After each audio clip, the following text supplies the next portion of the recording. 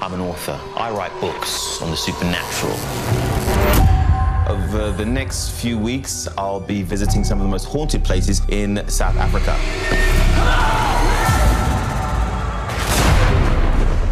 I've been having dreams, memories. Nothing's gonna happen. There's no such thing as monsters. Rose drowned and you survived.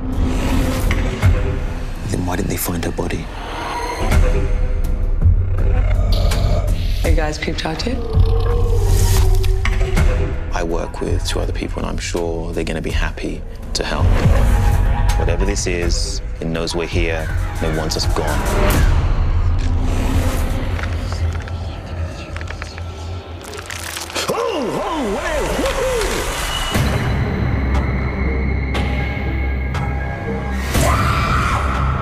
Do you believe in statistics? Why? Because based on the numbers, they're going to die today.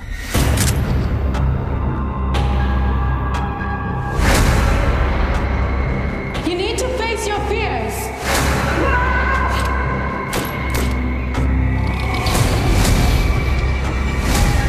Oh my god, he stopped breathing.